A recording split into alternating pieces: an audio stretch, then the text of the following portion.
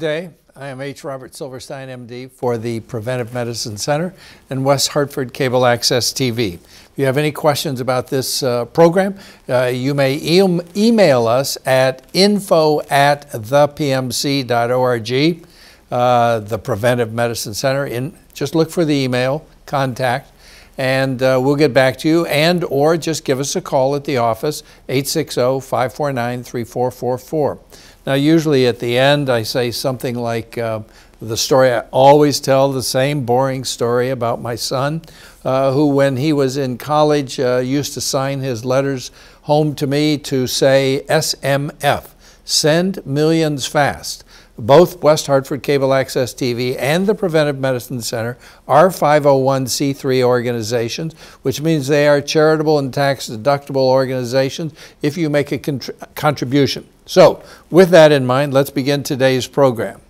Now, how many of you out there know who Jimmy Durante is?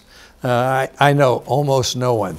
Jimmy Durante was a comedian who was called the Schnoz because he had a big nose. Uh, and uh, one, of, one of his usual lines that he repeated often was, I've got a million of them. He'd tell a joke, and then he'd say, I've got a million of them after the uh, audience laughed. Well, uh, I'm going to use that line today and show you this. Uh, that didn't flip very well, but there's probably 12 sheets here. And on each sheet, uh, there is an essay.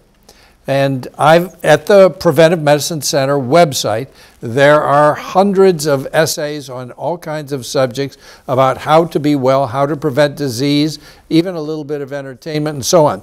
But to, for today's talk, I have uh, decided to go over just two that are complementary to each other. The first one's called I Don't Like Brown Rice, Vegetables, and Beans. And the second one is called Looking to the Right and Not Looking to the Left. Now, what does the one I don't like brown rice, vegetables, and beans mean? It means that I grew up in America when we ate fried chicken, steak, hamburgers, pizza, uh, candy, cake, cookies, and so on. And uh, everybody was doing it, and nobody thought very much about diet.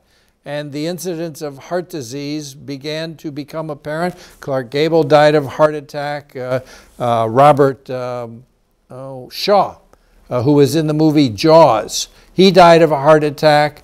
Uh, recently, uh, Gandolfini, I don't recall what his first name is, uh, was vacationing in Italy, I believe. He had a heart attack and died, uh, when I say recently, the past few years.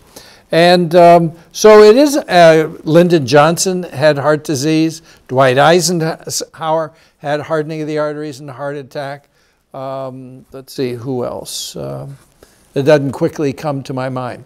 Regardless, uh, so the point being is, why was there so much heart disease? And the answer is, it wasn't magic, it wasn't evil, it wasn't a curse, it was what people did. Now, just last night, I was reading about a physicist who apparently discovered the relationship between cholesterol and hardening of the arteries heart attack. Uh, Heberden originally described, in the 1700s, originally described angina, which is a symptom of inadequate blood flow to the heart muscle. And as a result, uh, the heart muscle lets you know that uh, it's not getting enough blood flow. And so it creates this discomfort that you feel, which can be any discomfort between the belly button and the mouth, and occasionally higher up, uh, including the neck, shoulders, and arms, front or back.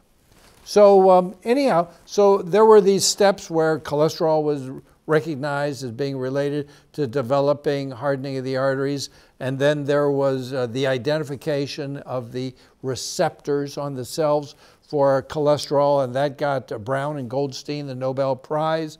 And then there was the invention of the techniques of open heart surgery by Rene Favaloro, uh, who did the first uh, bypass uh, then there was the first uh, angioplasty by Grüntzig, uh, who was, I think, in Switzerland and came to Emory University, my old tomato.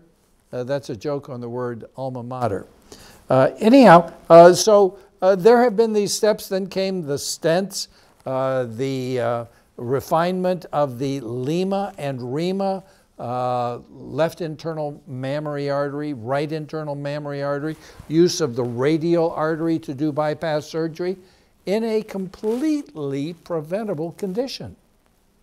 There's an entire industry out there, which I am part of, that in a certain sense sits back and waits for people to hurt themselves to the point where they then require medical care. Come see me in the office, I get to charge you an office visit. It's not as grim as I'm making it out. We are here to serve, and people have the right to choose. But uh, why not choose freedom? Aha! I don't like brown rice, vegetables, and beans.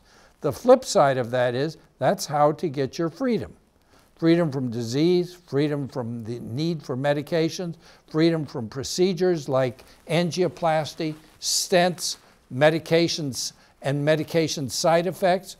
One of my positions about medications, and again, uh, I try to be funny, it's not my nature, I'm a little bit heavy handed, uh, is that uh, all medicines are poison, including the ones I prescribe. Now, I just do that to be dramatic so you get the idea that nobody should be on medicine. But I also say, including vitamins, minerals, herbs, and supplements, be well, use as few as possible. By the way, if you want to lose a few pounds, stop taking multivitamins. I can't tell you how many people multivitamins have caused weight gain in, and when they stop taking their multivitamin, uh, their weight goes down. And I believe I believe, uh, do I have proof? Maybe, uh, that vitamins, minerals, herbs, supplements should only be taken five days a week to prevent what I call adaptation. In other words, you get used to something. Like in the beginning, when you start smoking cigarettes, you can only handle a half of one or one or an occasional whatever, but eventually you keep it up, you can handle two packs a day or even more, like I did. Uh, so and the same with coffee. You can use NoDoz or coffee to stay up, but if you keep drinking it, eventually you get used to it. I am trying to have you not get used to whatever it is that you're taking. What about prescription drugs? That's a little bit different. I would like to say that only take them five days a week, the way I say about vitamins, minerals, herbs, and supplements, but I can't be rigid about that.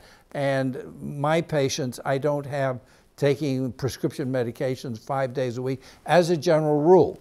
For instance, what if you uh, were diabetic on insulin? Would I have you take your insulin only five days a week? That's nuts. No, you can't do that. Uh, by the way, 95% of diabetes is completely curable, preventable, curable. 95% of diabetes, 95% of high blood pressure, 95% of high cholesterol, 95% of high triglycerides and even depression, anxiety are vastly improved by doing the things like I don't like brown rice, vegetables, and beans. Now, what do I actually mean by that? What I mean is that brown rice, vegetables, and beans can be made to taste really good. But hands down, and maybe that's because I'm still, quote, addicted or whatever the right word is, I never say close quote. Um, and I'd like to say close quote because I'm quote, addicted, close quote. That doesn't sound right. Anyhow, you get the idea. Um, addicted to french fries and pizza and hamburgers and steak and lobster and butter and uh, really nice uh, pastas and breads with butter on them and so on and so on. And I'm trying to make the point, as is made in this essay, called I Don't Like Brown Rice, Vegetables, and Beans, that we are drawn to what we should not. We are drawn to what we should not. We are not drawn to what we should. When I said I don't like brown rice, vegetables, and beans, that doesn't mean I dislike them.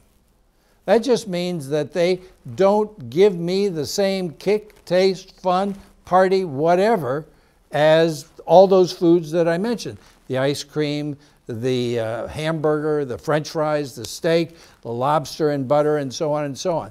And the taste, I can remember I often say, I had a meal that was lobster in a cream sauce at a French restaurant in Montreal, and to this day I still say that was the best meal I ever had in terms of taste. But when you think about what it is, my goodness, that is exactly what keeps me in business as a cardiologist and it is also what keeps the oncologist in business. So we have heart disease, and we have the endocrinologist with their diabetes, and we have the oncologist with their cancers and so on. Now, we don't know the cause of all diseases. Like, what is the cause of acute myelogenous leukemia? I really don't know. But if you're going to talk about the Willie Sutton rule, Willie Sutton was a bank robber who, when he was asked why he robbed banks, he gave the very lucid answer of that's where the money is.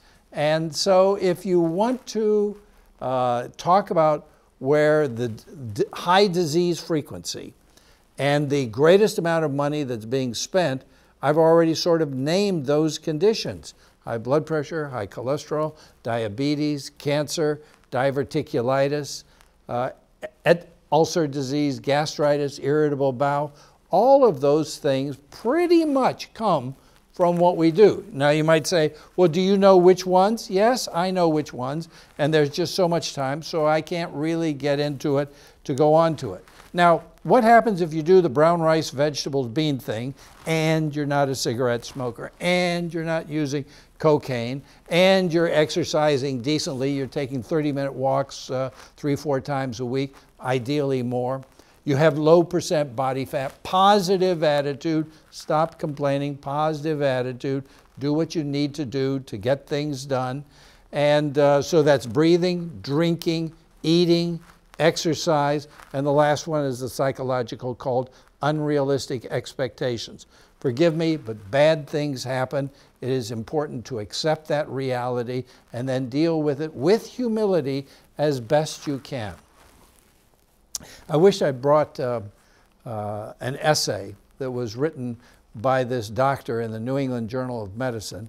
And she talked about where she had such a tough day at work, and then she came home and she saw her kids in bed, and uh, made her feel really good. No discussion of her husband or ex husband, by the way. And I thought that was uh, a little bit uh, inappropriate. Eh, the husband was half of the creator of those wonderful children that she was describing. But really, the essay got down to um, a very brilliant friend of mine used the word sophomoric, and my response was that she needed to stop whining and accept the difficulties of being a doctor. It is not easy being a physician. It is not easy being a physician.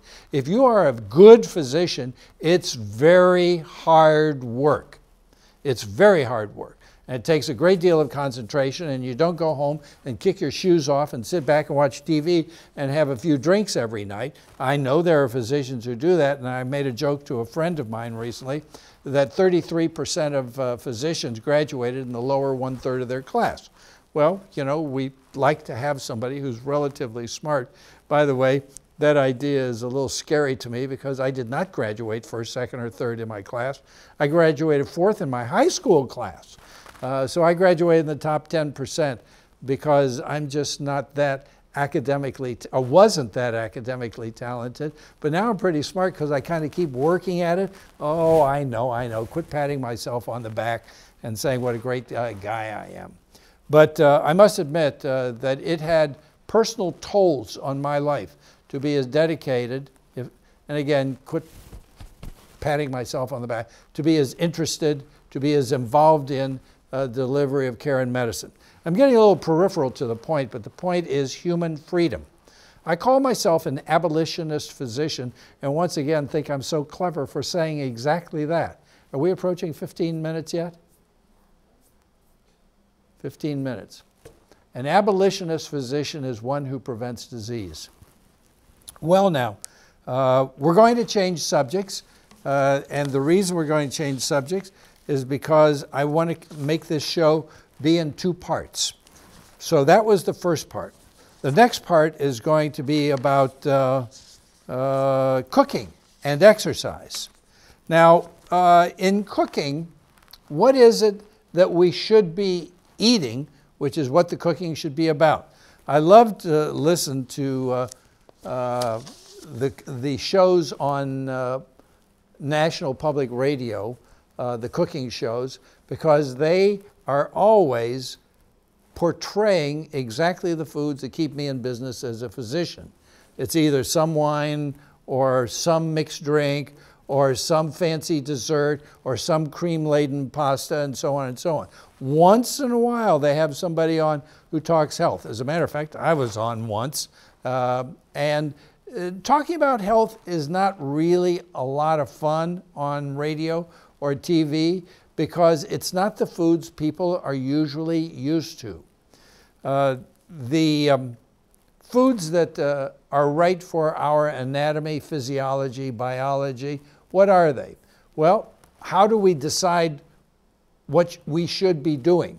And the way to decide that is we have an enzyme for digesting plant food in our salivary glands, not for digesting meat or cheese or eggs, it's for digesting unprocessed plant foods. I'm not talking about Wonder Bread or white flour bread.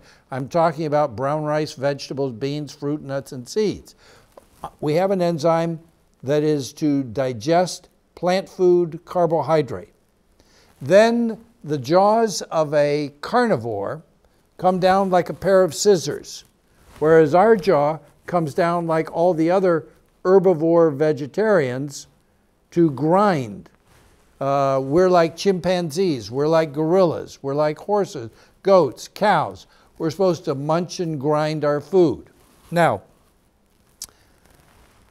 so we have a jaw that functions like an herbivore vegetarian. We have an enzyme for digesting vegetarian plant food here. Uh, we don't have any fangs or claws like carnivores. Uh, carnivores means eats meat. Uh, carnivores can digest rotten meat safely. Human beings cannot digest rotten meat safely. There's a whole list of reasons why we are biologically designed to eat essentially an unprocessed whole foods vegan diet. Now, uh, that's at the, I don't believe we have to do anything at the 100% level. For instance, what's my position on alcohol? I don't think alcohol is good for anybody, but my position would be four drinks a week or less is almost certainly safe. Four six ounce glasses of wine. Now, if you think about it, what did he just say? He said a six ounce glass of wine. A glass of wine is five ounces. So I'm trying to be a little bit uh, friendly. Uh, I'm trying to make a point and not offend people too much. That's not true. You know that. I sort of don't care. I'm going to tell you the truth. I have a reputation for being ferocious, uh, but it's ferocious about the truth.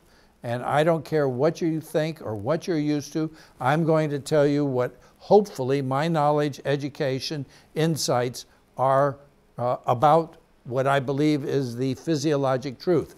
There's this um, cardiologist online. Uh, what's he called? The skeptical cardiologist. And uh, he's interesting, but I think he's wrong. Anyhow, getting back to what we're supposed to eat. So I believe that we're supposed to eat unprocessed, ideally organic, whole food, which is another way of saying plant food or vegan, at the 90% level.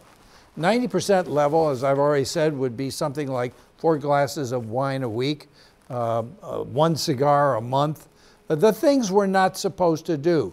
What if you break your arm and you need a narcotic? Am I opposed to the use of narcotics? There's a time and a place for everything. Um, I, it may come to whether or not I have hip surgery. Uh, will I use narcotics? I remember that when I fractured my hip in 1991, I wouldn't take narcotics then, but I also wouldn't get out of bed. And uh, that's a surefire risk, especially at my age now, for the development of clots in my legs uh, to then travel to the lung called pulmonary emboli. So um, anyhow, we, we have this biology that is a certain way, and I'm going to tell you about it, uh, my perspective, very much invitation to consider, which is another, I can say it a little bit nastier, take it or leave it. Um, and I tell my patients that. I don't tell them in a hostile fashion, but I say to them, you know, you don't have to have me as a physician. You don't have to believe what I say to you. You don't have to do what I encourage you to do. You are free to choose. But I am trying to maintain that freedom as much as is possible and I'm telling you what the rules are. For instance, what about driving your car 90 miles an hour? Or what about having six drinks and driving home and wiggling your way through traffic and hoping that the police don't arrest you for DWI? The point is, there are rules of all types. And when you go along with the biologic rules, you don't develop diseases. Now, there are some smart ideas, and one that I have right here is called MISO. Uh, so if you go to the website, www.thepmc.org, the Preventive Medicine Center is what I just said, www.thepmc.org. Uh, this is a very old handout, so it may or may not be on the website, but I talk about miso here. Now, what is miso? Miso is a cultured, that means like yogurt, um, cultured, salted soybean paste. And what you do is you make soups with it. It is the bouillon for soup, but it's healthy bouillon. What's interesting about miso is it's alive, like Wildbrine sauerkraut. Sorry to advertise a brand name, but that one has to come out. Just like I like organic veal miso. And the reason is I, both of those have my confidence, so I don't want you walking into any store and just picking out uh, miso off the shelf uh, and so on. I have specific ideas in mind that I sort of believe in and I believe are the right decisions, which is filtered through my years and years of experience. How many years of experience are we talking about? We're talking about almost 50 years of experience. That does not mean I'm right. That just means that I have a lot of experience in either being right, wrong, or indifferent. And sometimes I'm right and sometimes I'm wrong. So, how are you supposed to figure it out? You're supposed to figure it out by taking a look at the way I present my information and say to yourself, does what he say sound reasonable and does he at least have some facts or information that supports the ideas that he puts forth? And I think I do that. So anyhow, I recommend miso and miso soup. Very, very healthy for you and can be made with seaweed. I know it sounds like I'm talking Japanese. I am talking Japanese, Japanese, Chinese, and um, but it's something that you can find. What do I think about going into the average Oriental restaurant and ordering miso soup? Not so much. I love to say not so much. I, whenever I hear that, I sort of get off a little bit on it. I think it's so cool, not so much. But um, uh, so you want to boil your vegetables, and after you boil your vegetables, you want to take some of that broth and put it in a little container over here. Then you put your miso in there and you grind it up and make, no, you don't grind it up, you make a slurry. Then you take your vegetable broth and put it in your plate. And you take some of this slurry that you've made to begin to flavor it. And you put in some, and that's not enough. And you put in a little more, and that's not enough. And then you put in more, and that's too much. Okay, you take more of the broth from the soup pot and uh, put it in uh, the bowl to dilute it down a little bit. And uh, that's how you make miso soup. When you're cooking your vegetables, which are all vegetables except potatoes, potatoes equal white flour, bread equal sugar, equal candy. Uh, all vegetables uh, in your soup mix with garlic and cilantro and dill and lemon. And you can throw in some uh, canned beans to make your life easy. Uh, Eden canned beans are available locally.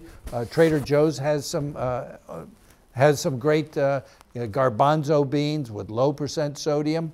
So you wash off these canned beans, that makes life easy. Or soak your own and put them in with your vegetable broth, but it doesn't take that long to make the vegetable broth. So you want to have your beans already cooked. And then um, you have miso soup with seaweed and beans. Uh, is there a best bean?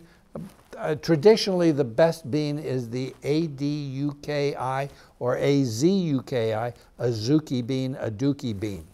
And uh, what about the other beans? What about lentils? What about chickpeas? What about cannellini beans, black-eyed peas, split peas? They're all fine. Uh, I was sort of taught that Aduki beans were the best. So uh, I have no sense to argue with that. All right, that's the deal with miso soup with seaweed in it. Uh, you can buy seaweed at the natural food stores, and you can also order it at Maine Coast Sea Vegetables. And if you buy the larger packages, they're very expensive, but they last uh, like $50. Uh, they last for years or uh, a year or two. So you only need a little bit here, a little bit there. Seaweed are incredibly high in protein. They're incredibly high in absorbable calcium. And they are also, quote, detoxing, sort of like a sponge. I know doctors are going to say, what kind of nonsense is that? He's talking about a sponge that sucks out the bad stuff and so on and so on. Look, uh, this has been refined over thousands of years in the Oriental cultures, and I'm a believer. All right, looking to the right and looking to the left. I got to get through this one quickly. Uh, that's about deciding what you're going to do when you're presented with temptation. And what you have to do is you have to engage your brain to clear yourself of your addictive nature. And most of us operate on just automatic. We do these things and we do them repeatedly and we do them wrong repeatedly. And yes, some people do them right and God bless them. But for most of us, it's a struggle to do the right thing. So, what you want to do is sit there and simply realize it is no more complicated to eat the right food and not eat the wrong food than it is to turn your head from here to here. You just don't do these things and you just do these things. And you might say, well, Who's going to prepare that for me? Look, I didn't say it was easy. I didn't say it was fun. There is a price to your freedom. And the question is, do you want to pay the price to have your freedom? That's up to you. And, and people who don't pay attention and pay that price are the ones who end up going to the oncologist and the cardiologist and uh, so on and so on. Most of the diseases that we have in the United States are completely preventable. Today I've talked about methods to do that, and I wish you all well. So once again, if you have any questions, please contact us at the Preventive Medicine Center at 860-549-3444. Good day and God bless you all. I am H. Robert Silverstein, MD.